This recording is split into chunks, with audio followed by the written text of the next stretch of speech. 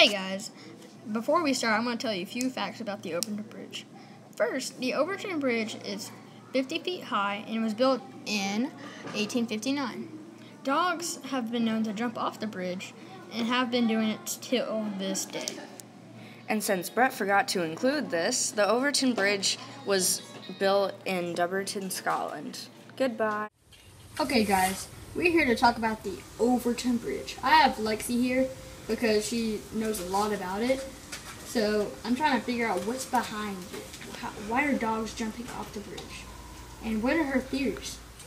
And like, again, why are they jumping off? And is there like a, something that haunts it, or is it just a reasonable explanation?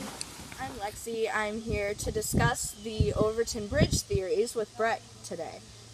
Um, the leading theory, I think, is that there is a mink under the bridge and it's marking its territory, so it's a very strong scent and it's luring the dogs off the bridge.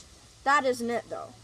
People, the scientists also think that the four foot tall wall around the bridge is blocking the dog's sight so they can't see to see how far the bridge is down.